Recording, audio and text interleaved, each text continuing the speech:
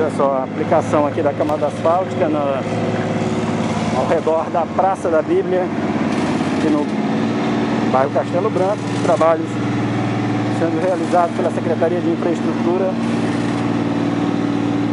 para que haja a entrega desse mais novo espaço de lazer, espaço turístico da cidade. Olha só, os preparativos já estão finalizando aqui na realidade para que a cidade possa ganhar mais um ponto turístico para Caxias.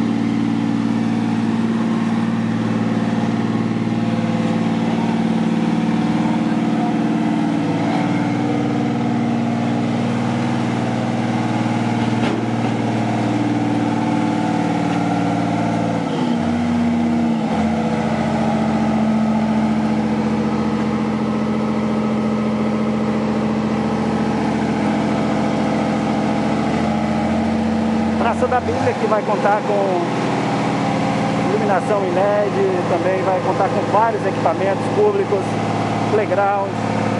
E aqui estão os últimos preparativos para a entrega da Praça da Bíblia. Está sendo feito aqui pela Secretaria de Infraestrutura. Os trabalhadores fazendo a aplicação de asfalto aqui nessa parte que será o estacionamento.